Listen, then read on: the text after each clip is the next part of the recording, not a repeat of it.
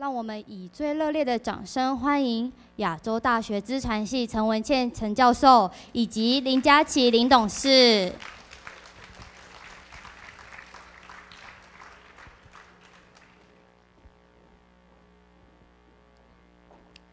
大家好，我们是创领的学生，我是纯慧，我是佳桦，欢迎大家今天来一起参与由亚洲大学所举办的文茜讲堂创意思考系列讲座《未来教室》。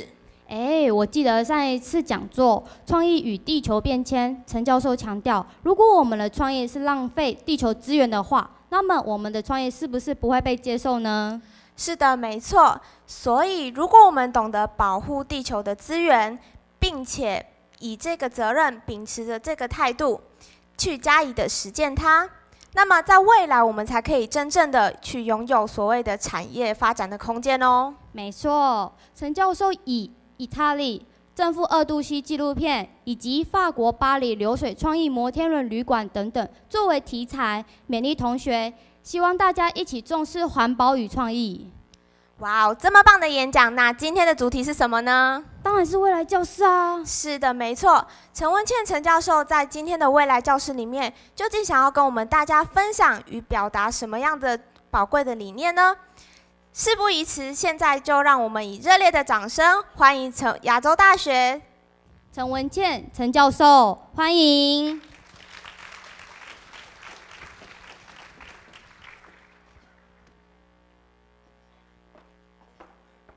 谢谢，谢谢两个可爱的同学哈，呃，未来的教室，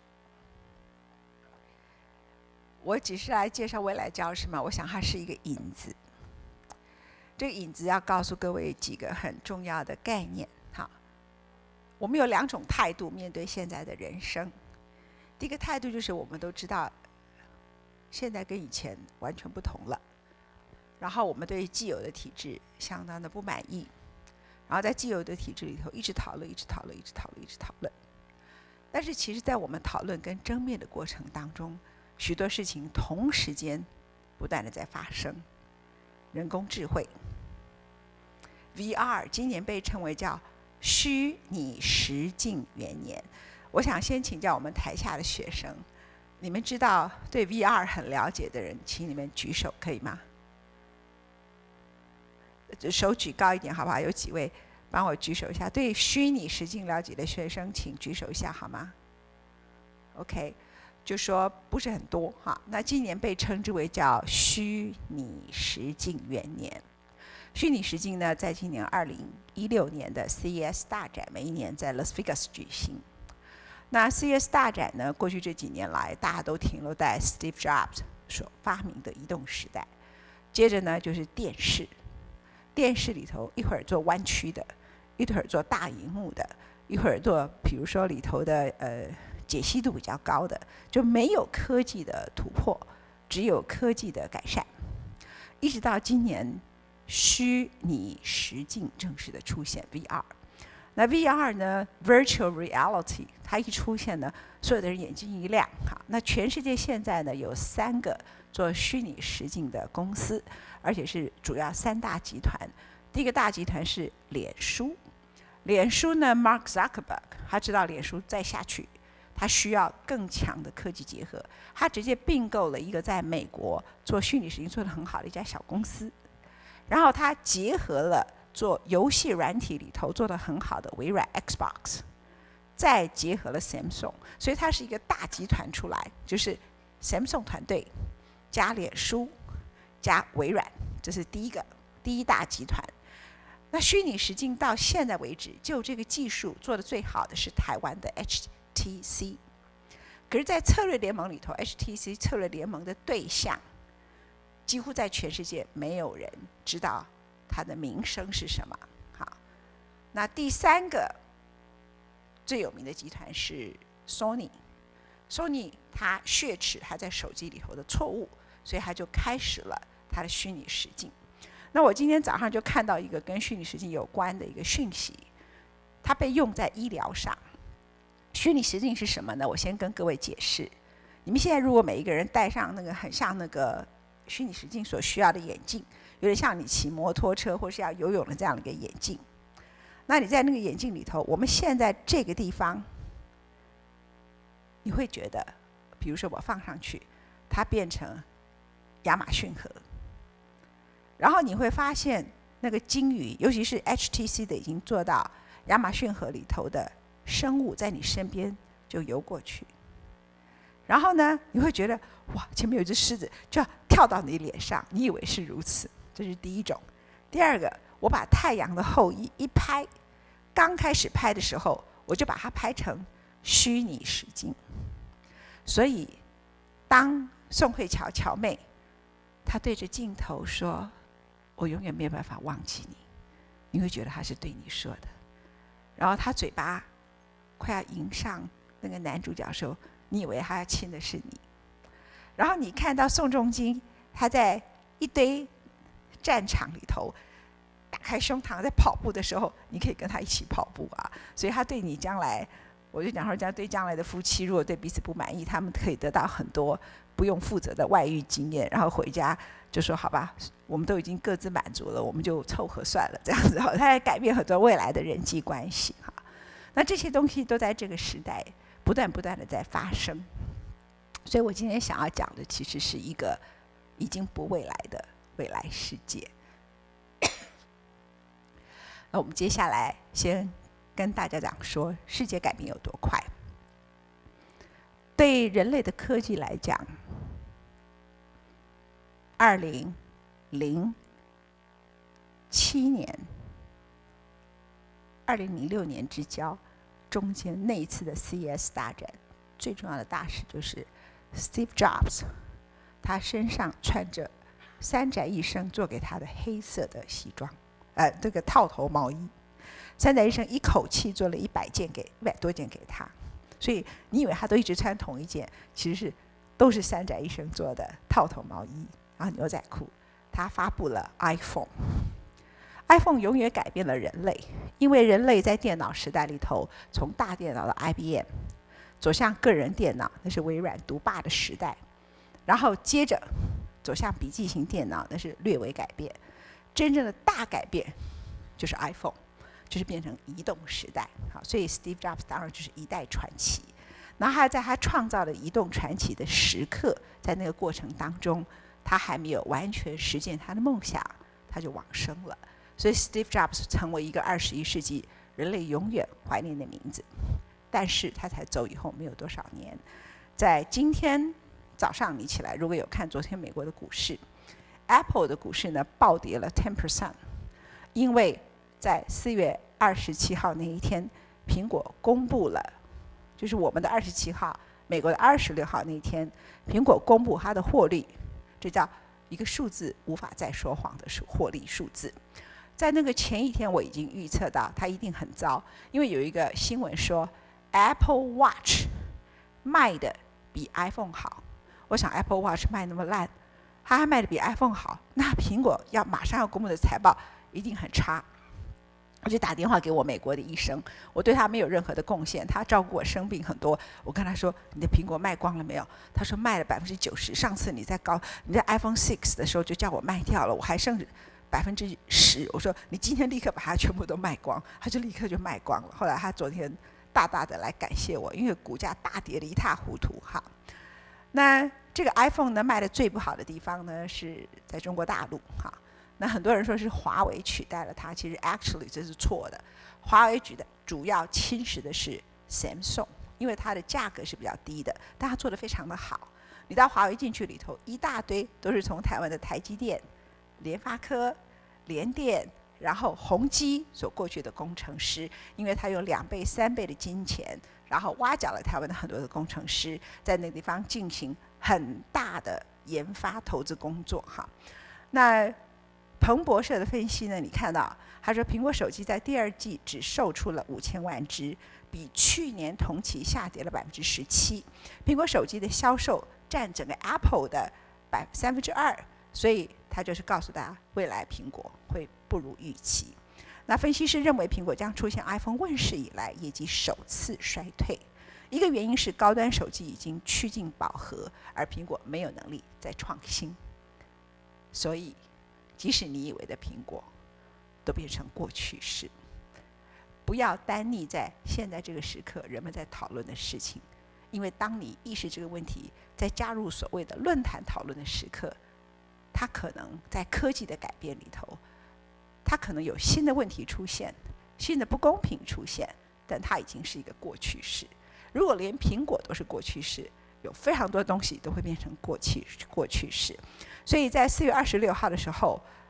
分析师就认为，随着苹果的业绩衰退，股价也会下挫。果然，在昨天我们晚上睡觉，美国的四月二十七号的时候，苹果的股价大跌了百分之十左右。下一页，当苹果是过去式，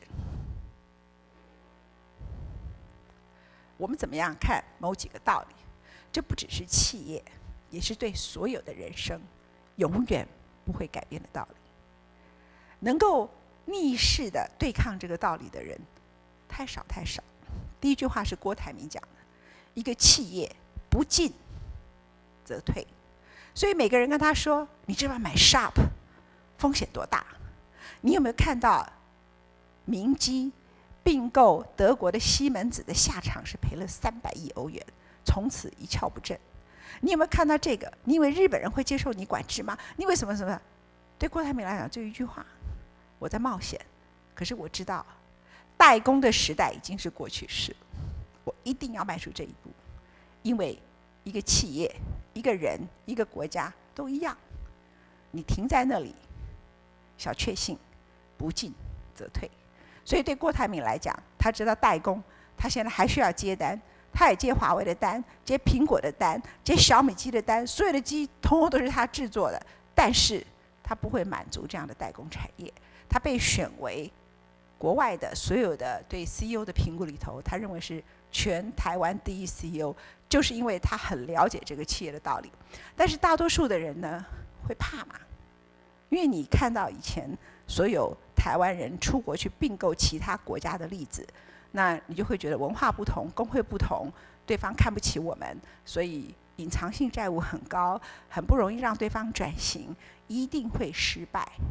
可是对郭平来说，你不要只看到我可能并购下回失败，我已经看到我这个代工产业我不进，我就会退，我也会失败。所以我不去冒这个险，我一定失败。我冒这个险，我可能成功，我可能失败。他做出了人性里头完全不一样的一个选择。好，所以说郭台铭会失败是很简单的事情。可是告诉你说，郭台铭不做这件事情一定会失败，是很少人会理解的一个对个人、对企业的道理。第二个是 Bill Gates 的话，It's so famous，这句话非常的有名，成功是最差劲的老师，Bill Gates 说的。可是微软呢？微软在个人电脑崛起的那个年代里头，所向无敌，像帝国一样统治全世界。然后成功是最差劲的老师，他当然大成功，所以他应该立刻的再转进到新的创新发明的产业，对不对？在云端的部分，微软落后 Amazon，落后 Apple，落后 Google，最后才急起直追。在我刚才所说到的游戏软体 Xbox 的部分，他直到。日本的 Sony 已经做得非常好，他才赶快介赶快介入在里面。韩国也做得很好，他才赶快开始做他的 X Xbox。也就是说，即使 Bill Gates 他写了这么一个格言：“成功是最差劲的老师。”然后我就看到郭台铭相信这句话，还超过 Bill Gates，因为郭台铭用了一张我在他的办公室看到，还有一张像这样 A4 的纸，而且是还蓝色的，然后上面就打了字，就放的很大。也没有裱起来，还放的歪歪斜斜的，就在他的很丑的这个办公室的桌子，那桌子真的很丑，大家已经一九七零年到现在，他真的很节省，然后就压在上面，好大的字，成功是最差劲的老师，哈，这 Bill Gates 讲的话，所以这就是人性，人性有一个特质，它的特质就是成功是最差劲的老师，所以可是所有的人都会在成功里迷失自己。所以第三个就叫看不起，你就会看不起那个比你落后的，你不知道那些即将超前于你，你就会看不起。像 IBM，他在做大电脑的时候，那个时候正好别人要开始做个人电脑，IBM 想我是根本电脑这巨人，这什么东西啊，就看不起。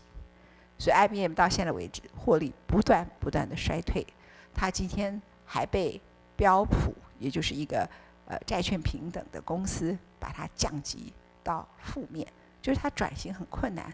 因为当他意识到这句话，就是成功是最差劲的老师，然后你看不起在崛起中的东西的时候，当他意识到的时候，it's too late，他已经太晚了。哈，每一个失败，相反的。每一个成功都孕育着失败，孕育着你看不起人，孕育着你自满。各位，如果你觉得你自己是一个失败者，而你面对失败，你了解未来是什么，你去好好掌握。你每一个失败是孕育着下一个可能的成功。当然，我不能说每一个失败一定都会带来成功，那要看你如何面对失败。如果你面对失败的方法是怨天尤人，怨天呐，我明白我命运不好，怨其他的人怪罪，你可以怪罪你父亲，你可以怪罪你母亲，你怪罪你的老师，怪罪你的学校。当然，你可以批评大环境，但是环境需要被好好的改造。但是你自己作为一个失败者的责任又在什么地方？所以这个里头，其实每一个不同的循环里头，越早反省自己什么原因可以是失败的，然后什么原因你可以突破，越早反省越早面对的人，他就是准备孕育着下一个可能的成功者。所以你看这个 Mark Zuckerberg，最近呢最大的消息是两个：脸书股价大涨，Twitter 股价大跌。那本来前年的新闻是，Facebook 有重大的危机，因为 Facebook 呢，它的使用者越来越老，那这个世界是看不起我们这些老人的。他觉得呢，Facebook 太简单了，所以老年人都在使用，而且 Facebook 的关注度呢太高，所以很多莫名其妙的人都可以来关注你。因此，本来你只是想 share 很私密性的东西，那它很像老鼠会直销一样，就是。我关注了你，那我的朋友呢就可以也来关注了你，所以你到后来就没有了隐私。所以为了隐私，这些人都纷纷年轻人就退出了他的 Facebook，尤其他最讨厌他爸妈来偷看他的脸书哈。所以很多在欧美国家里头就开始使用 Twitter 或使用其他的社社群网站，结果呢，Twitter 在这个情况里头它的使用户大增，Facebook 在下滑，而且是在老龄化，所以合理来讲应该是 Facebook 表现比 Twitter 差。On the contrary，完全相反，因为 Facebook 知道它不应该只专注在使用户的量多或是少，而是在它的产值、它的广告价值，尤其是它的异业结盟。所以，像它跟在 VR 里头，它很快的去结合微软，然后在这是 CS 帮 Samsung 站站台，你就知道说他是战战兢兢的面对他今天的成功，他没有自满。好，那所以下一句话。没有，刚才那句话还没完。Stay hungry, stay foolish。这句话呢是 Steve Jobs 在他已经确定得了胰脏癌，而且 iPhone 问世，他成为世界级的传奇人物的时刻，他是在 Stanford 演讲的时候告诉学生的。那我们台湾很多人因为是学文学，直接从外文翻译过来。Stay hungry 就求知求知若渴，啊，实际上这个基本上呢是一个错误的翻译，因为它指的叫做战战兢兢。Stay hungry 就是永远都有强烈的危机感，不是求知啊。因为翻译的人可能是外文系的或者是学一般的这个文学的，所以他就直接 Stay hungry 就直接翻。他的意思从他上下文所有 content 里头，整个上下文的原意指的就是。你永远要让自己处于战战兢兢，stay foolish，不是说你要让自己永远处于 innocent，就是属于很、很、很幼稚或者属于很纯真的状态，是不怕犯错。你没有关系，你变成一个笨蛋是无所谓的。战战兢兢，stay hungry，stay foolish，不要怕犯错。Steve Jobs，所以你刚刚看到我列出了一二三四五。人生永远不变的几个道理：不进则退，成功是最差劲的老师。不要看不起比你落后的人，每一个失败都孕育着下一个可能的成功。Stay hungry，战战兢兢；Stay foolish，不要怕犯错。所以我今天要和大家所说的未来，它其实一点都不未来。你看，像 Hawkins，他根本不觉得他在寻找外星人这件事情叫未来。他这几天还想，哦，他还讲到了庄子。周梦蝶，他讲的不是我们台湾的这个诗人周梦蝶，他讲的是庄子里头梦到了蝴蝶这件事情。他说对他来讲，他应该会梦到宇宙，宇宙在他的心中，他也在宇宙之间。SpaceX 就是 Elon Musk，他宣布二零一八年他的火箭要直接蹦到火星上去。这是有一群高度想象力的人。其实未来在对他们来讲一点都不远，比你想的近很多。那我告诉各位，刚才比如说以 VR 来说，更不要讲人工智慧。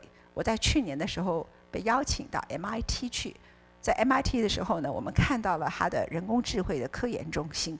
我也以为这个未来可能有一段时间就会出现，我没想到在今年就铺天盖地的出现。就在我去了那里没有多久之后，到处都是我去采访这个人工智慧相关消息的，一直一直的延续下来。所以，所有现在在发生中的人工智慧、机器人这些事情，还有 VR 虚拟实境啊，或者是呃，比如说像很多医学方面的虚拟实境被用在医学，医学里头，我们刚才讲到说，如果你是 Amazon 里头鱼从你身边游过去，医学呢？他们可以用三 D 列印，比如说还要把你的心脏做开刀，为了防止他有重大的手术上或者错误，比如它是一个新的手术很困难的，他可以把你的心脏所有的问题都先画出来，画在电脑里头，然后三 D 列印出来，考成三 D 的状况，然后就用虚拟实境里头直接做手术，在里头去练习这个手术里头所有的问题。那对脑部也是如此，这是美国今天很重要的医学资讯。所以，所以其实这些事情很可能在你们走出学校的时候，is there，他已经在那里了。然后需要的人才就是这个领域的人才，包括你如果是学资讯传播系的，你是对我现在讲的事情不熟悉，你还只熟悉那些有一只猫、有一只狗、有一个夫妻、有什么小三、有什么鬼东西，那你走出去的时候，其实你能够报道的东西就不可能超越前辈。所以你超越他们的方法是什么呢？那些人以为他们已经会了所有的东西，像我这一辈的人，比我年轻一辈的人，现在在职场很成功的人，他一定会犯这个错。他以为他什么都会了，他不需要学习了。而你们就应该学习他们不会的东西，未来比你想的近很多，赶不上，很快就被淘汰。所以你们这个时刻是一个还在学习的时候，你要学习的未来就是你踏出校门那个时刻，已经全世界已经出现了一个新现象，而这个新现象就是。你就业很重要的一个概念哈，那我还有一句话要送给大家：历史就睡在你身边。我们今天的这个电脑操作者，他很很兢兢业业，他很怕他赶不上，所以就不断的翻译的很好的态度。历史就睡在你身边，不断的阅学历史，他在你身边，你从里头知道哪些错误不要犯。认真思考阅读的人，也可以避免犯错。所以。不是说我今天去并购 Shop 我一定会错，那要看当时并购西门子的人他犯了什么错，从里头找出他犯错的原因，然后避免相同的犯错，这个是一个很重要的一个方法。所以不要看到人家犯错你就立刻说这不能做。然后另外呢，历史不是给你拿来去声讨别人的，历史同时更重要的是让你认真阅读、思考，避免犯。相同的错误。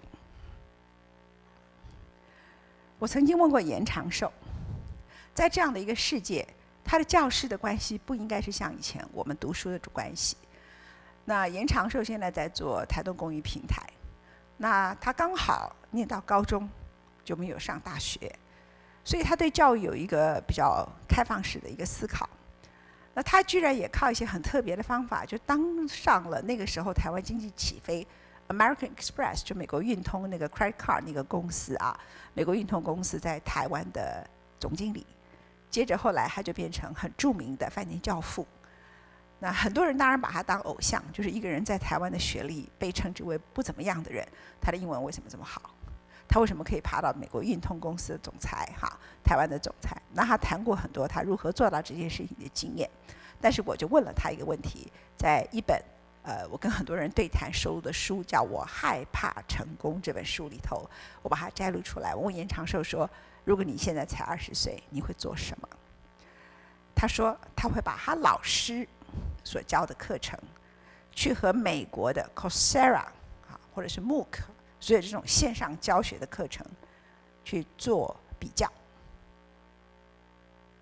我今天在修某一个课叫几率，举例来讲，或是我修的叫 Communication，啊，那我同时间呢，我就去 MIT 的叫，比如说它 Media Labs，是一个给未来媒体的一个线上教学的课程，我就去看。看完了以后，我第二天会再来问老师，我看了别人的线上教学里头，我得到的心得，我问他这个问题，我会直接挑战我的老师，让我的老师跟我一起进步。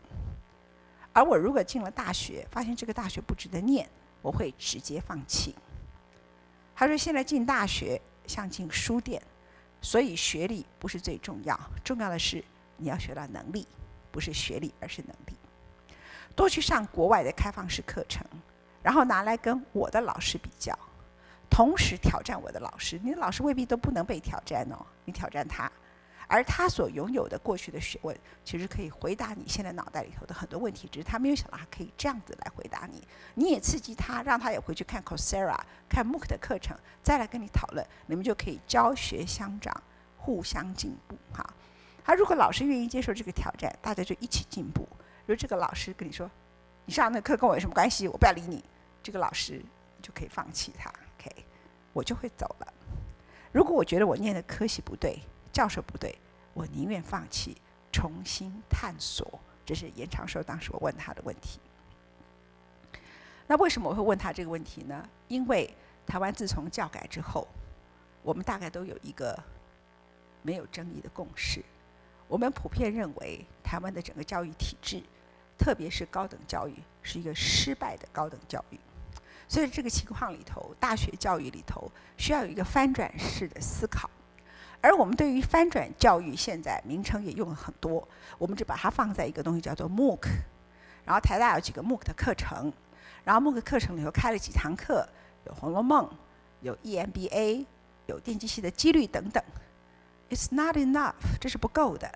它其实是不只是上台大的，或是清华的，或是哪些中文老师上的 MOOC 课程，你其实还要上国外的所有 Coursera 课程啊。那所有的这些 Coursera 或者是 MOOC 的课程，它最大的一个好处是什么？是你可以直接对那些老师在线上提问。他在线上教学的目的就是他想发现这个世界有没有他遗落的天才，他想找到你。他想要教育在第三世界里头教育资源不公平的人，当然他们想的可能是肯亚、奈及利亚，他不会想到台湾有所谓教育资源不公平。台湾问题是教育资源呃不够，然后大学过度的膨胀。那学生呢，在思考他要念什么大学之前，在高中的时刻，为了要申请到好的大学，他并没有足够的时间去玩。去探索自己，去发现自己，所以太随着社会上头的某些轨道，或者是同才辈的一些兴趣，或是整个潮流跟着走哈。所以，比如说我们有一段时间，台湾就说：“哎，做厨艺学校很好啊，大家都去念 cooking。”然后学校发现开这种戏很受欢迎，文创很好啊，大家就念这个戏。结果后来突然发现这个市场 oversupply 太多人了。然后我们就看说，哎，生物科技国家要扶植啊，所以生技呢，很多人就去念了生物科技。念了生物科技之后呢，就看生技公司股价这么涨，那就是下一个科学园区了。我出来就会有 good job 了，所以我就等于是未来将来呢，会有一个很好的工作。我等于是上台积电去哪里上班？然后你发现，台湾现在念生物科技的人出来找不到工作，为什么？因为台湾的生物科技。现在停留在很初级的阶段，跟当时政府是透过工研院很清楚的技术转移到台积电、联电，有计划的一步一步扶植是不一样的。而且在那个时刻，台湾是台大从一九六五年就有电机系，从那个时刻等于培植到一九八五年，整整二十年的时间，这些人才他够成熟，他毕了业，他去了国外读书，或者还在一些相关的公司里头上过班，他更够成熟来做老板、来创业。从国外回来，这个时刻一切都成熟了，我们开始了一个电子科学园区的一个神话。那生计如果要起来，它必须要一个长期的规划。那我们希望它加快一点，就很像医学里头，他就给你打类固醇，打美国仙丹。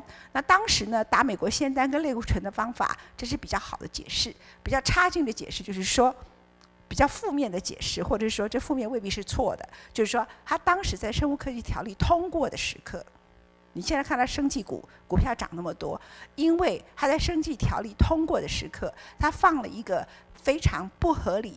不公平、不正义，而且会伤害这个社会的条文。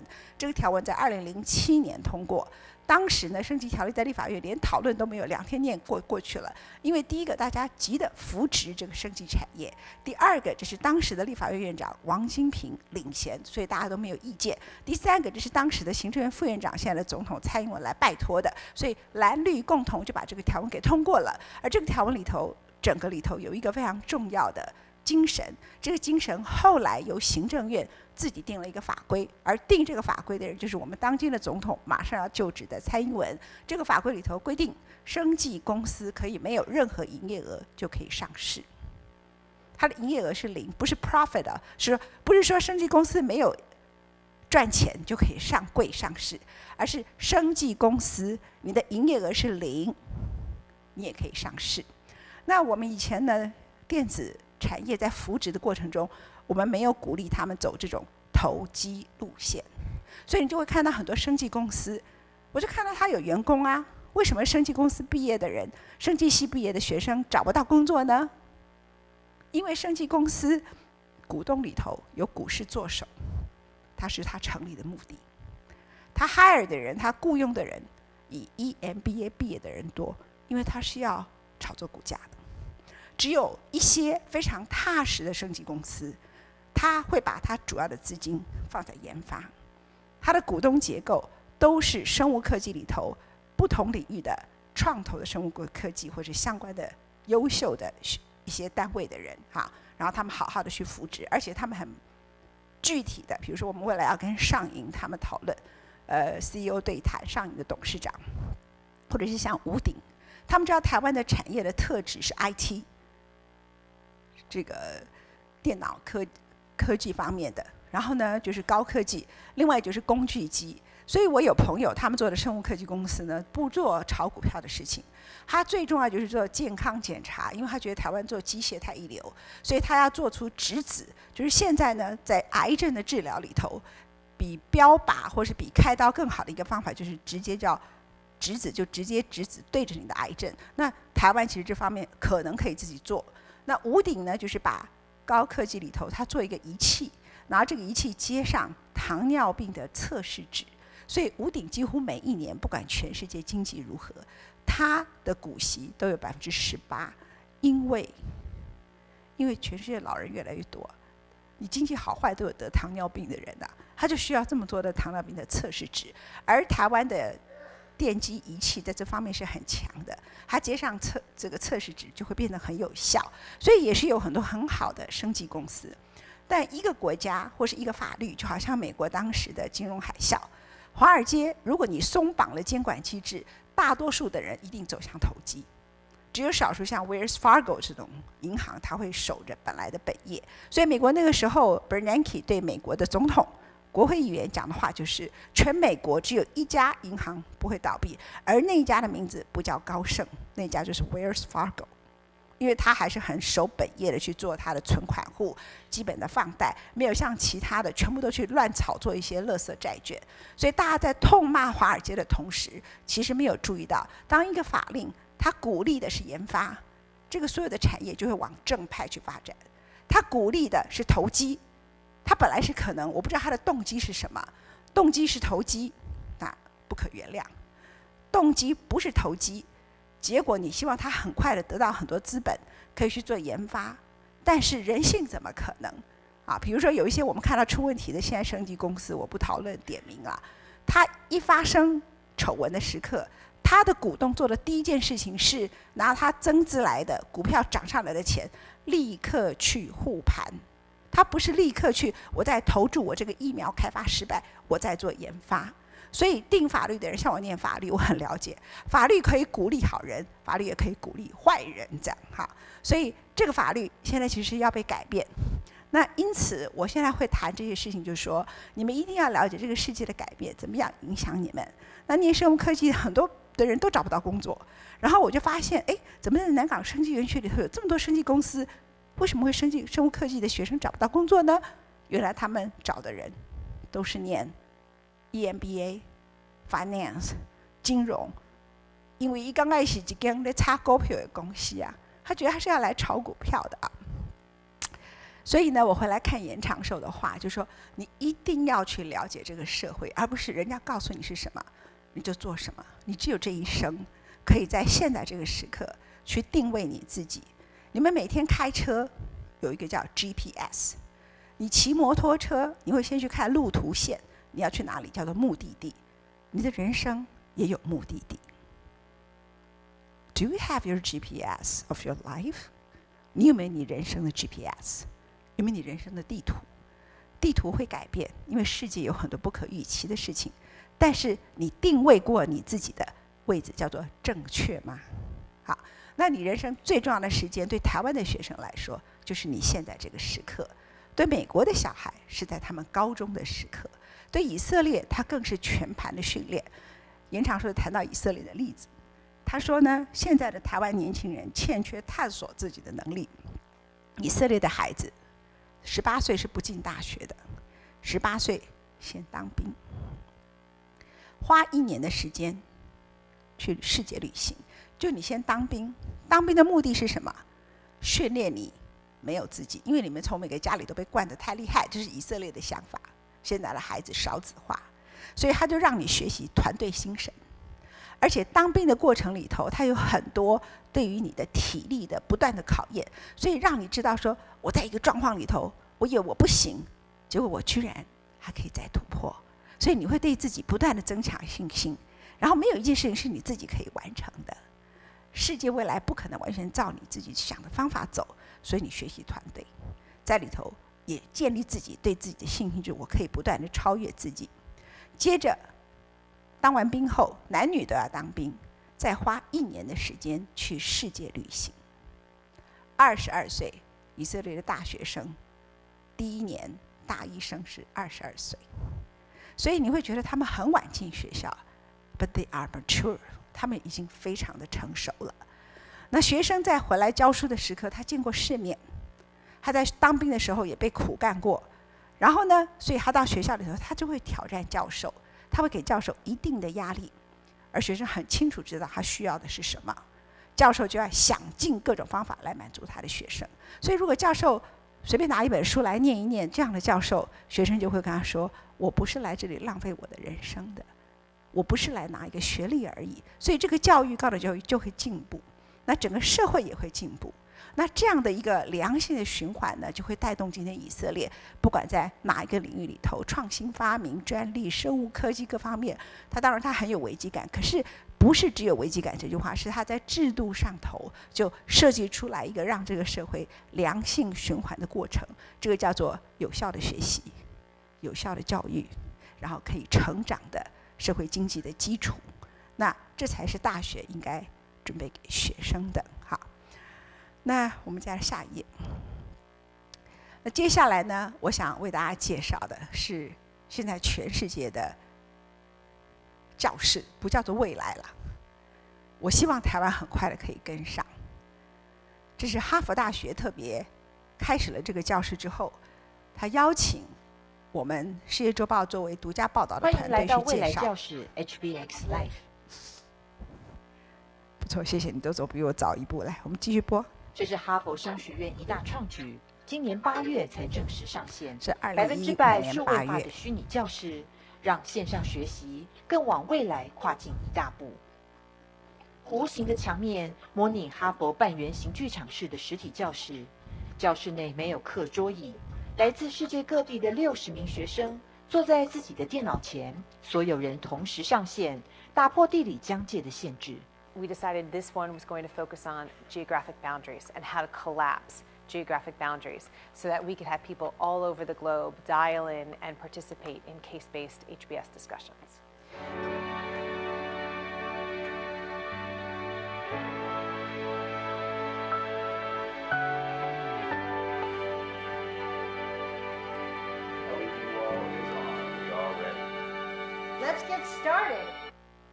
虚拟教室 HBX Live 位在距哈佛商学院约十分钟车程的波士顿公共广电公司 WGBH 其中一个摄影棚内，采用的全是最尖端的声音与影像技术。How is everyone today? It is so wonderful to see you all. I assume you've all read the case. Let's start with the key decision facing this protagonist. Okay, Mai in Shanghai, you're the decision maker. What's your plan? 客制化的网络界面使这个虚拟课堂得以复制哈佛商学院最具特色的上课方式——个案教学法。好，我们继续的播放影片，但是我们把声音关掉，让大家继续的看哈。它的意义是什么？就比如说，我现在在这个教室里头，我只能跟你们讲话，而你们在这个地方，在台湾，你们会有你们这一代在这个地方你们思考问题的一个模式。可是，如果我现在上课的地方，我是可以有六十个屏幕，而这六十个屏幕呢，有一个人是来自于上海，有一个人来自于东京，有一个人来自于九州。昨天晚上九州熊本又地震，好，那有一个人呢来自于 Hong Kong，有一个人来自于 Cambodia，有一个人来自于缅甸，有一个人来自于美国的加州 Silicon Valley 那个地方戏谷。有一个人可能来自于 Seattle，有一个人可能来自于肯亚，有一个人来自于哪里？当我们在讨论一个问题的时候，你会看到不同的地方的人，他会有不同的答案。然后他是因为商学院，重点他是一个给已经在做管理者的人上课的地方，他就更重视打破疆界这件事情，所以他就更要创设这样的一个教室。好，那这个教室呢本身，它可能呃，今天我有一个 case。这个案子案例呢，举例说，我今天有一个案例，这个案例呢，我们再来讨论这件事情，它的观点，它的焦点应该是什么？啊，那比如说最近在台湾的新闻里头讨论的沸沸扬扬，叫做文林院案，那我们把它摆在上面，那我们在场的学生会有一些看法。熊本地震的人会有不同的看法，他会认为都市更新很重要，因为呢，你房子不赶快更新，太老旧的话呢，很可能地震一来，房子就垮了，你就死了。你讨论某些东西不对，可是对某些没有地震影响的人，他就会说，我要了解财团在这里头的角色。那有些人就讲说，我不认为你应该把所有的建商都称之为叫做财团，每个地方就会有不同的思考角度啊。那所以呢，它就会变成一个有效的讨论。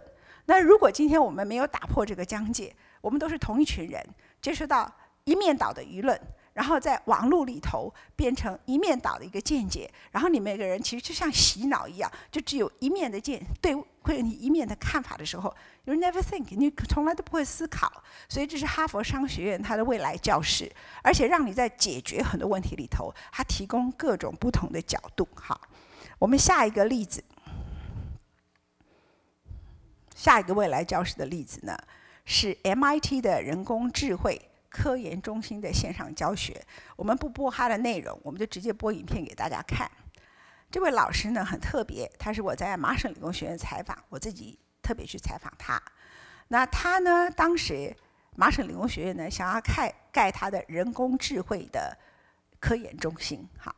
那人工智慧是什么呢？人工智慧就是把我们现在在大学里头的电机系 （computer science） 以及其他领域的全部都整合在一起，叫做人工智慧。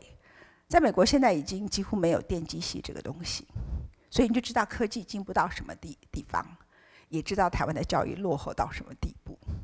台湾以前的教育呢，在一九六五年的时候有台大电机系，台湾一家高科技公司都没有。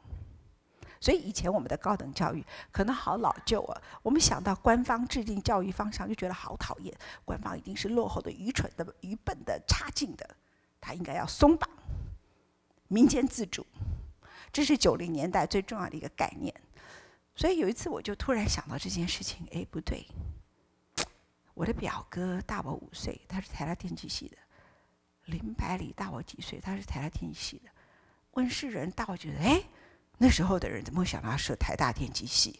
因为在一九六零年代，台湾连台硕都叫高科技啊。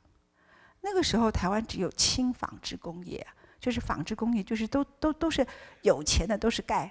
纺织厂的，一直到一九七二年、七一年的石油危机，这些纺织厂就倒掉了。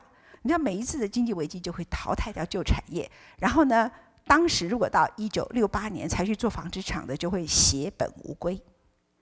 等到一，然后一九七零年以后就扶植大钢钢铁厂，然后扶植了新的这个台硕啊，所以台硕在一九七零年叫当时的高科技。好了，那我的问题来。是什么神经病？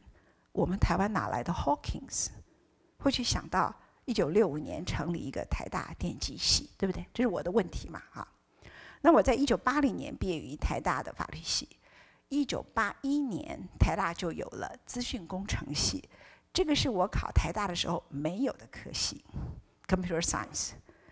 好，Let's go back to 一九八一年。一九八一年是什么？是一个还在打字机的时代，那时候是没有个人电脑。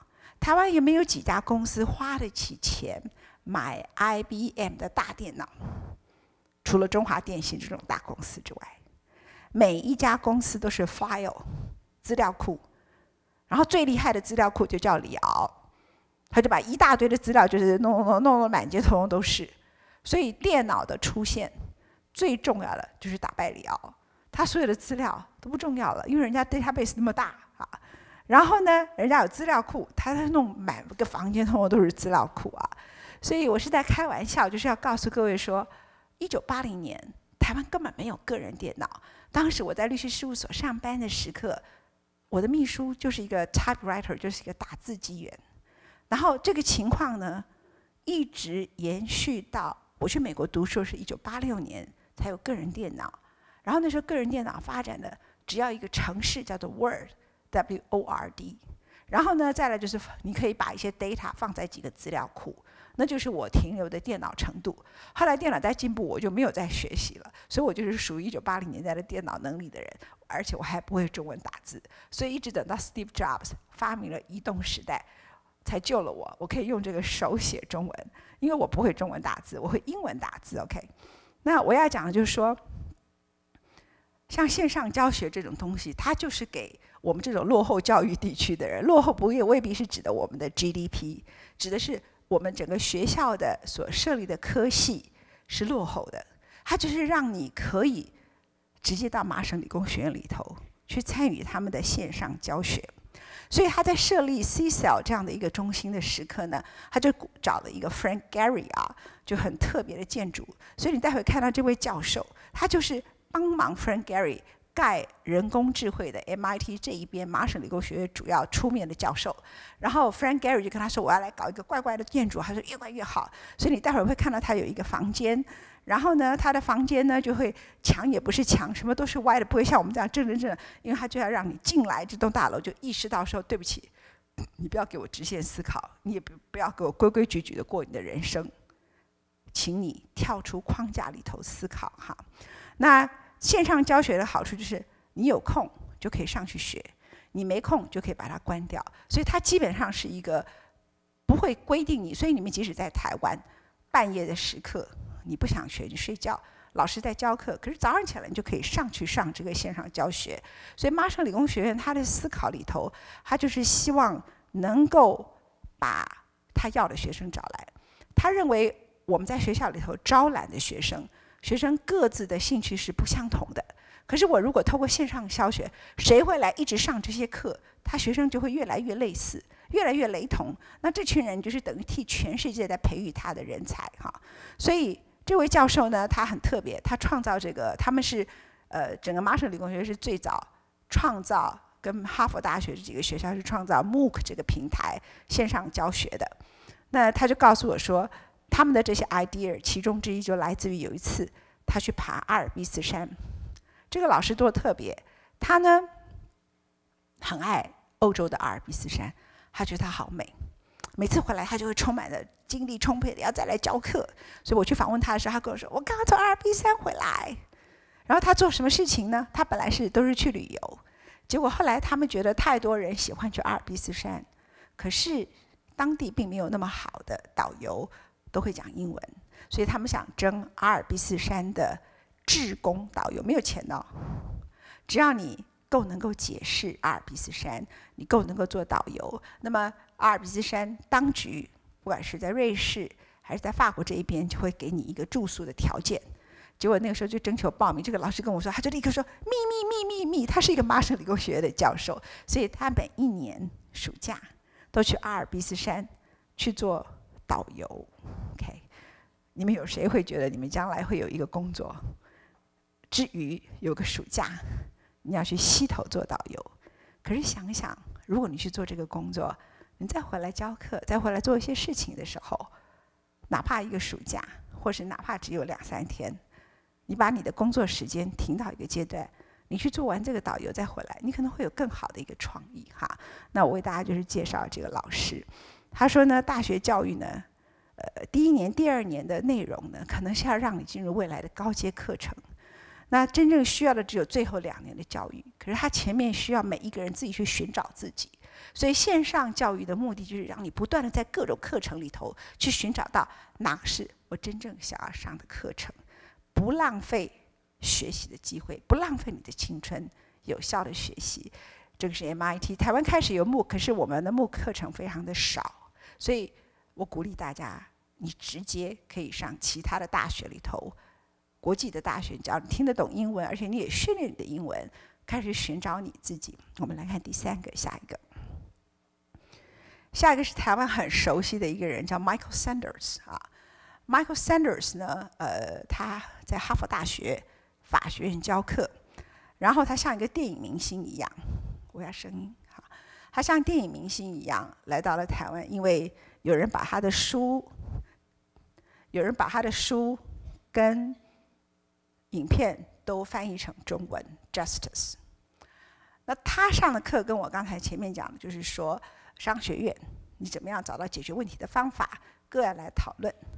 或者是 MIT 麻省理工学院，他要的是科学天才，自己去寻找自己的兴趣，这是不一样的。他是法学院，他告诉你思辨在你的人生里头多么重要。思辨，他的意思就是说，其实我们在不同的时代、不同的状况，一个东西的价值跟道理是可以不断演进的。好，那后来有人就把他找来台湾访问。那他来了台湾，主要是他的出版社把他找来。那他也办在台大的小巨蛋办了一场演讲会，我们现在播出影片。那 Michael Sandel 呢？他在学校上课的时候，学生很多，他的学生是不可以坐在那里不讲话，一定要回答问题，要提问题的。他一开始上课的时候，他可能就会讲一个 case。这个 case 呢，比如说我举一个例子，有一堂课，他就讲到在十九世纪的时候，我不要声音好吗？好，然后就说谢谢。就是说，十九世纪有一群人，他们出去外面钓鱼，去玩，结果发生了船难事件。这个船没有翻，但是他们离开了航道，引擎坏掉了。这引擎坏了，所以船就回不了它原来的港口。那这个船上呢，有四个人，大家都非常饥饿。带的食物也不够，四个人里头有一个人身体是不好的，然后他死掉了。另外三个人在那个时候都很饥饿，也都快死了。他们就在讨论该不该吃他的肉。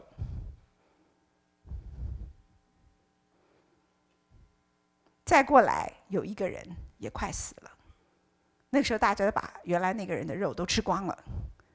这快要死的人，他大概一定会死，所以他们加速了他的死亡，再继续吃他的肉。就在那个过程当中，他们被发现了，这两个人就被带回了港口。好，我大概数目是这个不是记得那么清楚，但大致就是这样的一个情况。然后回来，他们就去自首，因为这是一群 gentlemen，受过教育的。他们吃了这两个人。好，这个法律辩论从这时候开始。Are they guilty？他们有罪吗？起诉的人说他们是谋杀罪。还有法律有一个叫毁损尸体罪嘛，对不对？你把对方给吃了。那你住在这里的人，你听到吃人肉，觉得他们有多残忍？可是想象你在大海里漂流，你要活下来。所以，what is the justice？这个就是三斗一直在要所有的人辩论的。他 shifting，他其实是在不同的情境里头不断的在改变。你今天以为的正义，很可能换另外一个情境，它不叫做正义。你今天以为对的事情，再过一段时间，你觉得它可能不对。你以为它很不对的事情，再过一段时间，你才发现它是对的。好，那人在什么状况里头可以不断的去寻找、思考什么是相对？比较对的事情，他必须透过一些思辨。所以，他整个法学院的教育里头，他不是写一个法规出来说，我规定一个东西，这个东西就是对的。法学院最重要的教育就告诉你，价值是一个不断的在移动中的价值。那这堂课程，他当然就训练一个人的 philosophical thinking 这样子啊。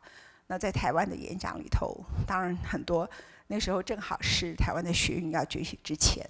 他很受到这群人的崇拜，那他在现场跟这些学子最重要的对话，跟他们其实等于是没有对话，因为他重要是告诉说，你以为的正义不是正义。那学生听到了前面就是对，所以现在那些老人跟我们说的正义就不叫正义。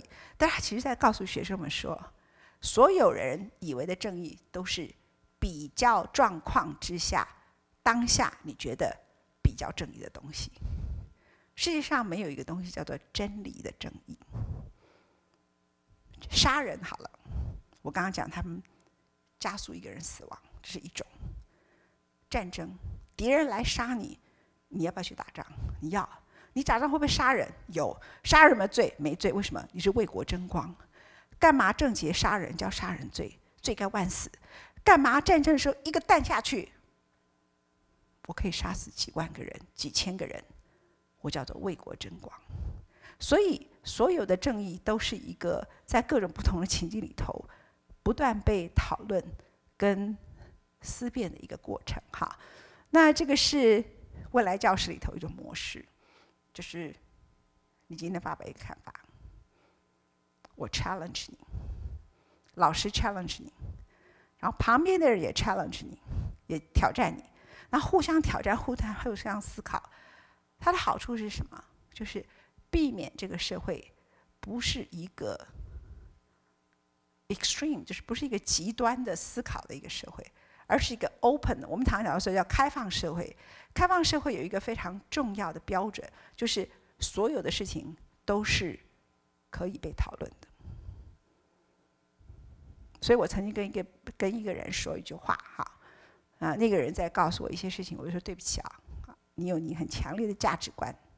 但我要告诉你，这个世界没有什么东西叫做神圣的、不可挑战的价值。谁告诉我他的主张叫神圣的、不可挑战的旗帜跟价值？这个人，他的名字就叫毛泽东跟史达林。That's it. OK，这就叫民主、自由跟极权主义信仰最大的差别。那这点对我们台湾的学生、跟台湾的年轻人、跟台湾的当代是很重要的，而且不只是台湾，全世界都如此。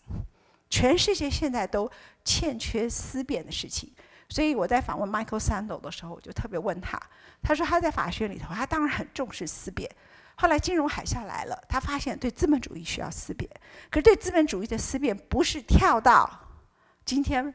Bernie Sanders 像美国的民主党这位候选人，他当时不知道 Bernie Sanders 这个人物。他说：“但是不是跳到你对华尔街全面的攻击？所以我们人类就是非黑几百，没有灰色地带。会灰色地带的通常都变成立委，因为他懂得在里头搞灰色经济、搞好处这样。但是其实人类是一个文明社会，是需要灰色思考的。这个灰色使你了解。”为什么有人是白的？为什么有人是黑的？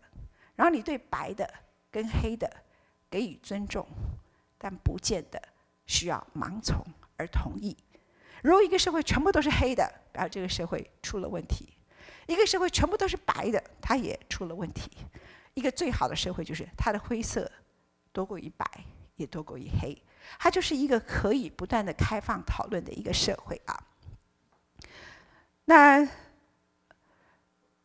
我们下面像现场很多人谈到核废料的问题，他就谈到说，结果百分之五十一的。人通过瑞士的一个公投，然后呢，他就拿这个议题呢不断的来辩论关于核废料的问题，然后接着就从市民的责任，也就是说所有的问题都没有那么简单呐。你反对核废料啊，瑞士，那他就说好，那所以不要核能电厂，那结果要干什么呢？就市民补偿，市民补偿呢，就因此就要整个瑞士的财政来负担。然后接着呢，你不要了核废料，不要核能电厂，那瑞士的电从哪里来呢？煤炭大家都反对，因为会制造二氧化碳温室气体，造成霾害，还会得肺癌。那替代能源在那个时候又不够成熟，结果就是从法国买核电。那你在法国制造的核废料，这个算正义吗？好，所以他其实也在这个会场里头。不断的提出一些相关的问题，他也提到连锁超商。我访问他的时候，他也提到了整个资本主义过度的长、过度的变成单一价值，在玻璃围墙倒塌之后，所以他对世界造成了伤害。可是他现在担心，对资本主义的反省变成一个非常简单的，而且不负责任的一个态度哈。所以他认为所有的简单、不负责任、合理，其实都是需要好好的思辨的。OK，我们来看下一个。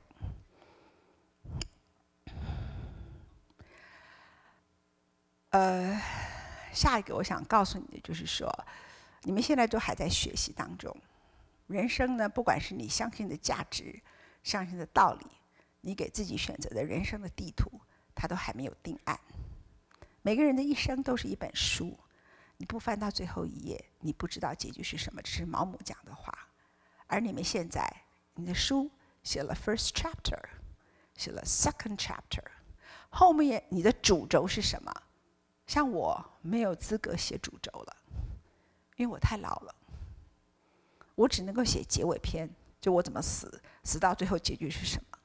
你们现在是在青春的时期，是有机会把自己的人生写出主轴的时刻。所以知道未来其实离现在很近，知道国际别人在想些什么东西，然后知道往外有更有效的学习。用这些方式，让你自己的人生找到你的正确的主轴，找到你的对的 GPS。下一页。接下来我想讲一个离我们台湾比较远的事情，我们会比较熟悉。刚刚我在讲未来里头呢，有些东西是跟科技有关的。其实科技对人的改变影响远比你想的大，它不是工学院的事情啊。它也不是财富重新分配的问题啊，它会改变人跟人之间的很多很多的关系哈。但是有些事情是不会改变的，就是你怎么看待当代正在发生中的很多事情。所以我才会把 Michael Sandel 这种思辨的课程，认为不管他这种课程其实就很像当年柏拉图、亚里士多德他们那个年代的思辨课程。那为什么人类的文明走到了将近三千年，从希腊哲学家的时代？两千多年到现在，仍然思辨这么重要。因为如果你没有这样的一个思辨概念，你其实很难，你很可能就是你的人生完全就是走错了路途啊。那最近发生在法国的一个事情，也是由年轻人参与的。我今天特别想为大家介绍一下，法国这个叫 Nuit de Beau，它的意思指的是什么呢？是跟公主彻夜未眠，就是彻夜不能睡觉。那法国人最厉害，他很会搞抗争，他。发明口号一流的，OK，公主彻夜未眠。那你可以把它说成，我如果是抗争者，我叫守夜运动。但它真正是一个对抗他的总统 Hollande 的一个运动，叫做我让你没办法睡觉，我让 Hollande 不成眠，好你被困里，不成眠运动。哈，所以有人翻译成叫做不成眠运动，那是针对他们的总统。有的人翻译叫守夜，是根据你自己的价值。他组织的成员都是法国的青年，大概上千人到一万人左右，信仰的是无政府主义跟左派。他是要让欧兰德政府不成眠。为什么？因为欧兰德在二零一二年大选的时候，用了一大堆左派的口号，告诉他们 Sarkozy 怎么向那些富有的财团靠拢。我上台，我绝对会改变这些事情。那时候很多人就说欧兰德正在做一个不负责任的事情，因为法国的问题不是他所说的，不只是贫富差距。法国的问题是他失业率很高，他的制造业跑光了，他年轻人的失的失业率高到，尤其在郊区某些地方是严重的问题。他跟穆斯林之间的融合，因为还有百分之十的是穆斯林。法国的问题跟其他欧洲的国家有些部分又很像，它的工时太短，它的社会福利太高。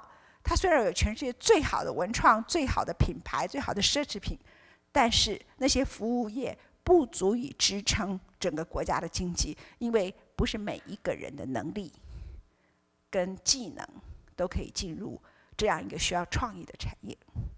你也不见得有这个手工，你也不见得有做服务业的能力。所以你需要进入工厂里头制造业，制造业是一个降低一个国家失业率很重要的、永远不变的很重要的定律，至今为止哈。那法国问题怎么解这么复杂，可是欧兰德要竞选呐，他要当选呐，他讲那么复杂，他怎么当选啊？所以政治人物最危险的就是他永远一定要成功的把复杂的问题简单化，更不负责的人就把它愚蠢化。或是扭曲化，最后他会赢得政权。那欧兰德的问题就是，当时 Sarkozy 就是前任的总统，他因为娶了一个漂亮的第一名模叫 Carla Bruni，然后呢，他老在闹绯闻。接着呢，更重要的，当然欧兰德后来自己也绯闻啊，他好可爱，法国总统都骑着小绵羊摩托车去会女友这样子哈。那他的前情妇还写了一本书啊，这是法国特色，不重要哈。那 Sarkozy 呢，每天都穿得很体面，所以看起来就像一个上流社会的人。但他做了一个重要的事情，惹怒了呃当时的法国哈，就是很多年轻人，他把退休年龄从六十三岁，对不起，从六十一岁延长到六十三岁。欧兰德拿这件事情一直骂他，你要我们工作到死吗？是当时的抗争口号。所以欧兰德一上来就把好不容易延长的工时六十三岁又改回六十一岁。他统治几年下来，法国总统呢是五年任期哈，统治五年下快要四年多哈。二零一二年当选，他还有一年任期。法国的失业率居高不下，法国的经济非常差，法国还历经了 Paris Attack。巴黎的恐攻，而法国就在这样的一个绝望气氛里头，崛起了一个叫国家阵线玛丽勒蓬的政党。这政党就是极右派民族主义，他的英雄就是纳粹希特勒，还有俄罗斯的总统普京。就他居然在法国的地方叫大区选举，他的大区有多大呢？比如说以我们中部来讲，台中市加彰化县加南投加起来有这么大一区。然后呢，北部就是台北市、台北新北市、基隆加桃园、新竹，全部加起来这么大一区，它这个大区啊，就是大区选举。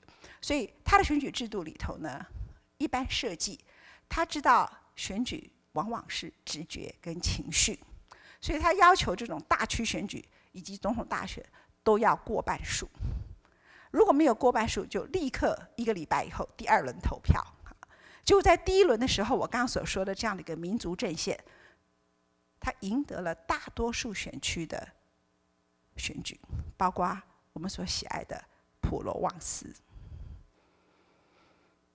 因为那些人都是天主教徒，他们很痛恨其他的异教徒，反对移民，然后他们看到经济的滑落，他们认为振兴法兰西的荣耀很重要，民族主义啊。在一个绝望的时代里头，是最有力量。在绝望的1923年的东京大地震跟大萧条的时代，它带动了日本的军国主义。在绝望的德国面临一次世界大战战败之后付不起赔偿款的德国，以及大萧条后的德国，希特勒崛起。在绝望的中国，从那个时刻满清末年到辛亥革命之后，民不聊生、列强侵略的中国，民族主义是一九四九年中国共产党崛起，那不是左派革命，那是民族主义革命。所以记得毛泽东在天安门说什么话吗？他站在天安门，一九四九年。今天中国人站起来了。其实我们研究这个社会主义革命的人都会说，二次世界大战之后，其实没有严格来讲，没有真正的社会主义革命，都是以极左，然后把农工以及社会里头贫穷的人串联起来，加上知识分子所形成的民族主义啊。所以民族主义对于一个破败的、沮丧的一个社会，人很沮丧嘛，那给你吃摇头丸呐。What is the difference？它跟摇头丸有什么差别？因为它从来不解决任何问题啊，它让你兴奋而已啊。那所以呢，现在欧兰德面对的是什么？因为欧兰德呢，他面对就是德国居高不下的失业率。你们看第六个，法国现在失业率是百分之十点二，年轻人失业率百分之二十。巴黎郊区及传统工业城青年失业率百分之四十。我曾经到法国，特别到拉法叶的。城市，台湾有拉法叶避案，所以我一定要看一下，哎，到底是法国那个造我们船的拉法叶是在什么样子？就我到那个地方去，那就是法国左派的大本营。然后我一看，那个地方失业率，当时在两千零七年就快百分之三十几，现在四十几。那地方哦，看起来好像废墟一样啊。为什么？因为它的造船工业已经垮掉了，所以那里的失业率非常非常的高。好，那在某些地区呢，风光明媚，普罗旺斯，薰衣草，然后呢，有很好的。那些就是法国世袭的比较贵族的那一群白人，那些小镇里头卖红酒的、卖什么的，他的经济状况很不错。可是所有的工业城，除了 Toulouse 就是 Airbus 之外，包括其实真的除了 Airbus 这个空中巴士，它所有的产业几乎全部都垮掉了。它所有的制造业都垮掉了。那制造业垮掉了有一个核心问题：你骂有钱人有用吗？你增加富人税，那个大鼻子情圣就跑去要俄罗斯的国籍；LV 的集团的总裁跑去做比利时的国籍。你可以骂他，可是他跑掉了。那很多人都把他的钱放在法国旁边一个很美的国家，叫列支敦士登。哈，那这个国家呢，还曾经来过台湾，他们的王室还在两千零六零七派人来了台湾，我也不知道是谁去他那里开户这样子，因为可以去那里开户的都是很特别的人，这样哈。However 呢，你骂这些人，你可以继续骂，可是你要解决问题。当然，上总统就是要解决问题。那欧兰德呢，就开始面对问题。那法国制造业垮掉，有一个很核心的问题：法国的国家阵线玛丽勒蓬告诉他们，是那些阿尔巴尼亚来的移民偷走了你们的工作。可是事实上，法国郊区。像巴黎郊区住的就是这些阿尔巴尼亚的青年呐，他们的失业率高达百分之四十啊！他还曾经暴动过啊！他怎么偷走你工作？他讲的是什么呢？是餐厅里头啊，在洗碗的那些人。可是我们台湾现在也发生类似的情况啊！你可以讲说哪些哪些人偷走你的工作，可是我们非常多行业是找不到工人的。我们的水泥工找不到，我们的油漆工找不到，因为没有年轻人愿意做这些行业。那法国的白人的年轻人，他也不做这些行业啊。所以，如果今天我们还到法国，可以去吃到一个假设，你去一个餐厅吃一个橄榄鸭，或是一个鸭肝，它的价格是五十欧元，或者二十五欧元，或者一百欧元，你刚还可以。不是起来都三十八欧元，你觉得是抢在抢人？就是因为他的 labor 相对是阿尔巴尼亚那些移民用很少的钱，还是愿意在那里工作。我到法国去，二两千零七年根本没有金融海啸，我说这国家有什么希望？这国家非垮不可。至今我没有改变看法，因为那个时候我们要去参加总统大选的采访，那时候我们要，我当然是因为他有一个女总统叫怀亚尔啊，他当时是欧兰德的情妇女友，两个人还生了很多小孩，后来他变成总统候选人，欧兰德觉得当主席自己很没面子，就跟他分手了，这样 OK。那怀亚尔现在变成他的环境部的部长啊，那她长得很漂亮，然后穿的很优雅的衣服，那我们就去采访她竞选总部干什么的。我们就说，哎，我们跟他约，人家这样堂堂的总统候选人的干总干事什么都出来接受访问，我们要早一点出门，会塞车干嘛干嘛。我们的工作人员就翻译就告诉我说，哦，陈小姐，我们巴黎八点钟是不会塞车的，这样，因为他们十点才上班，这样。我说啊，十点上班，然后我就想说，那当天晚上六七点一定很多人要下班，也车子会很塞嘛，因为算一下工作时间，对不对？他没有，他们四五点就下班了。我说啊，就你去到那个国家，中午的时候就很多人都出来吃饭，我就说他们都上班族啊，对，因为中午一个半小时的休息要算在工作的时间里面。法国在一九八零年代的时候出现了一个我年轻的时候很崇拜的人物，叫做。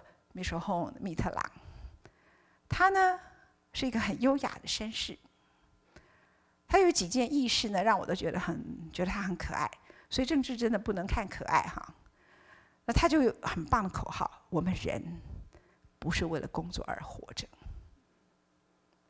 社会主义大宪章，他规定不是工作四十八小时，是三十五小时。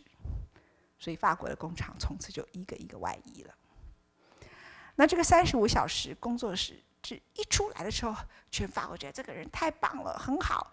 后来工厂一个外移，他就输掉了国会选举，变成左右共治。那法国的选宪政宪政制度跟台湾是差不多，他们是抄袭法国，但抄一半。他们是绝对多数，你总统一定要过半。那如果你在国会没有赢得多数，你的阻隔权一定要交出来。这是他们的宪政惯例。那法国人是有优雅，我们台湾是不会有的哈。所以我们曾经出现过少数总统，因为按照宪政惯例，你是要把阻隔权交给对方的。那没之后呢，我就觉得哦，他很了不起啊。那时候左右共治时候呢，他就做一件事情，他就在电视上主持一个电视节目，每天跟人家话家常，讨论历史故事。因为这个总统就觉得我只是负责外交嘛，哈，就谈多谈一些国际政治、一些外交的事情、个人的感想。那有一天呢，他就来跟大家分享，就说他得了癌症。然后呢，他的愿望就是他要死之前，他要吃法国的生蚝。你不觉得这是很牛？这个他说，虽然他们说我得了这个癌啊，是这生蚝会加速我的死亡，可是，在死亡跟生蚝里头，我会选择生蚝啊。然后他有一个私生女。他就跟大家 confess 说：“我有一个私生女，然后我要告诉大家一个故事。其实常常有一个陌生的女子，外界以为我在跟她约会，那就是我的私生女。那我呢，每一次跟她见面的时刻呢，她就会骑脚踏车，我就会从总统府的爱丽舍宫呢到一个日本料理店，因为他很喜欢日本料理店，我们就在那个地方，有时候吃拉面。”有时候吃甜不辣，所以听完这故事，觉得这个人是个好人嘛，哈。所以这世界上不是好人坏人的问题，就是他相信三十五小时工作制。那这个三十五小时工作制在法国一确定之后，就很多工厂一个一个一直外移掉。那这是欧兰德做了一件事，是学生们抗争的原因，就是他把三十五工作制，他必须动，因为这是法国重新恢复制造业必要的。他的动法也不是全动，他知道全动可能这个国家会闹革命。他自己又是左派的，又是靠这些工会起家的，又是学生们因为叫他骂资本主义起家的，于是他就说，企业如果是五十个人以下，就不受原来的劳动法规限制，你可以不要工作三十五小时。那他有出来演讲，他的逻辑是说，我很认真的看，他就说法国需要更多的中小企业，来创造更多的就业机会。那他的意思就是说，我可不要搞跨国公司，给他们松绑三十五小时，因为这样证明我就是亲财团嘛。所以他是亲中小企业，他以为这样会比较安全一点哈。所以五十个人以下的企业不受三十五工时的限制。至于工作多久，由你们自己去劳资双方协商，因为每个工作的性质不尽相同。这是第一点。第二点。如果你要解雇一个员工，你也不受原来这么严格的劳动法规定，为什么呢？因为他原来解雇太困难，在美国现在也已经出现这个状况，所以老板干脆怎么样，不请人了。所以他为了使失业率减少，因为年轻人毕业都不能就业，因为我解雇一个人太太困难了，我就干脆不要雇你们，省得增加我解雇你的成本跟困难度。所以后面的年轻人就非常非常难就业。他觉得他是为了解决青年失业率，所以他才松绑了这两个规定。就出来抗争的是年轻人，他们说你是世界级的大骗子，你这个左派政府就是个政治大谎言哈。所以啊，水可以载舟，可以覆舟。当时上台说话讲太满，你真的要解决问题呢，就遇到了困难。那这场运动呢，采取的叫公民论坛，台湾很熟了。但是不同的是，他们已经看过太多社会运动的例子，没有谁可以做领袖，因此没有谁可以用这个运动去竞选，窃取这个运动的成果，然后变成你个人的权利。他们反对修正劳动法，就我刚讲，然后他就直接说你叫轻商左派团体、轻财团左派团体，正要推翻神圣的三十五小时工作制。然后他把我刚才所说的那种论述，学生们说这是你逼迫劳工和资方就工时讨价还价，所以劳工哪里有讨价还价的足够的权利呢？那这个三十五小时工作制是什么意思呢？法国是三十五小时，那德国呢？德国今天经济比法国好很多。我告诉各位啊，德国的退休年龄是六十七岁。法国人认为叫他们工作到六十三岁是叫他们工作到死。希腊本来的退休年龄是五十三岁，后来延长到六十岁，他们也抗争说：“你要我工作到死吗？”所以才会德国那么生气，说：“你希腊的债务为什么是我要负担？我们要工作到六十七岁，立国打三回都搞退休率有没有搞错？这样子哈？而且他们的月退俸就跟我们的很多老师的条件一样好。我们现在很多人在批评工商，呃，我们很多公教人员的。”月退俸，那我们的退休制度呢？其实有点太偷懒。其实电脑现在的数据是很容易计算的，你可以把他过去薪水调出来，然后很快的来算他的月退俸多少，百分比多少。就我们现在不是，我们现在往往用他最后一个月的退休金，最后一个月的薪水当他退休金的标准。所以我就认识很多教授，他们往往在最后一两年的时候，就愿意去政府部门担任。某一个政务官，为什么？因为当他去担任这个政务官的时刻，他原来在正大某一个系里头教课，他的薪水七万八万。但是他去做那个政务官的时刻，做特别任命官的时候，他的薪水是十五万，比照部长。所以他一生二十五年就乘以十五万，这是很不合理的。那其实，在这些国家呢，欧洲都出现，它就等于是把我们台湾在批评这些不合理的现象。就全国性，各个行业都如此。那德国的规定是什么？我就去查。你法国人，你要骂这件事情，你也问一下隔壁的人，人家经济发展的比你好，你去学人家嘛哈。德国规定工时不得高于四十八小时，就不得高于四十八小时。那现在只是对五十个人以下的企业修订三十五小时。OK，你们所有的人自己去思考。抗争的人对，还是欧兰德对，还是德国人对？我们下一个看下一个画面。但是你看有多少学生，他们是用很神圣的心情，他们觉得他们是为了捍卫人活着的价值，因为这是法国从一九八零年所许诺的，人不用为了工作而活着所许诺的一个价值。在下一页。他的这个守夜运动啊，是不骂人，是跳舞的，有没有很浪漫？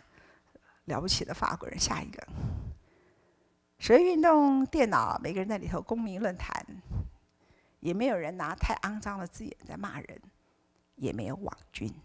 再下一个，非常公平的弹吉他，非常的浪漫。OK，再下一个，一起生活，烧掉资本主义吧。再下一个。他这是在哪里呢？他在法国大革命当时的巴士底监狱前面的那个雕像，在这个地方守夜，吹号角。这法国人的抗争都很 romantic。下一个，这也是其中一个，还有小提琴、喇叭。其实我们也曾经在马德里采访过西班牙，那个时候欧债危机，马德里前面有一个太阳广场，然后每天在那里守夜。后来人就慢慢慢慢散，大家就开始去找工作。但这次的议题，我想。继续要辩论的下面，这是另外一张你所看到的画面，在某个周末人最多。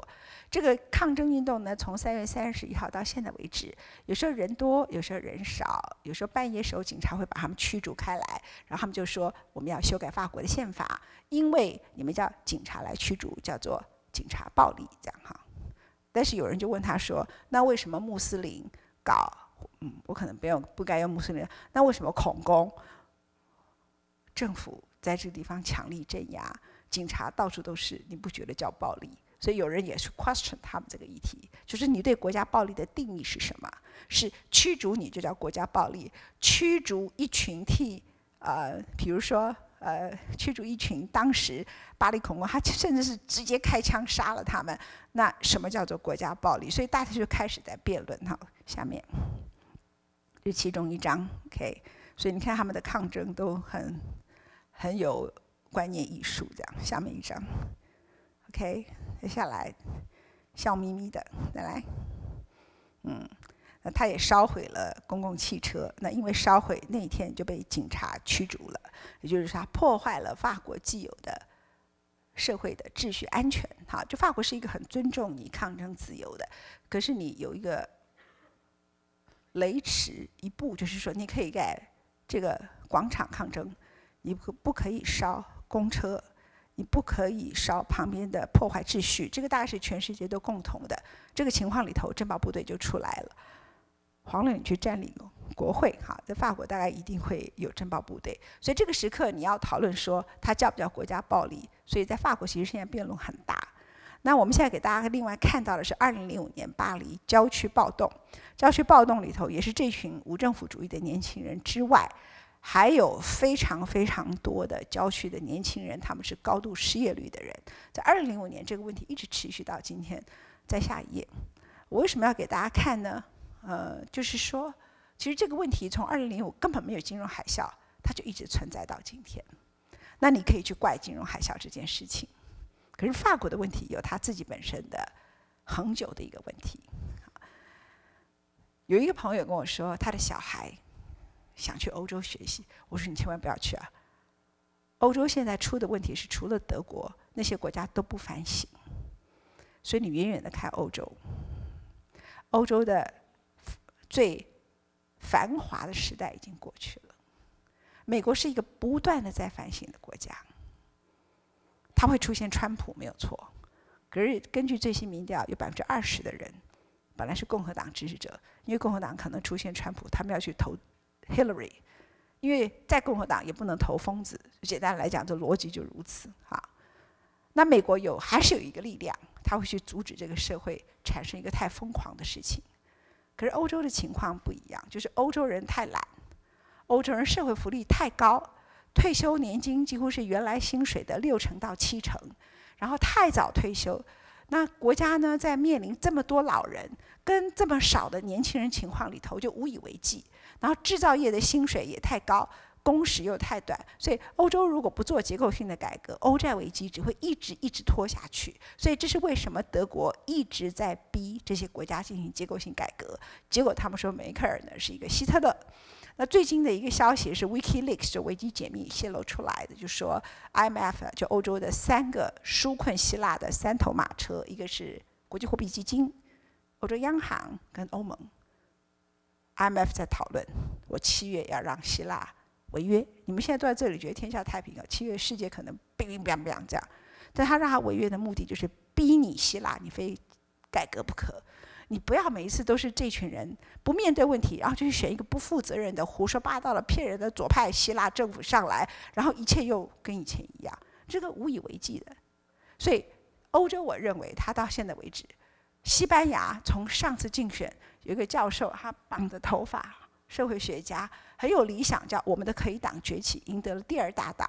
所以第一大党要跟他组很 困难嘛，因为他是反对既有的所有的体制。所以从上次大选到现在，他连一个政府都组成不了。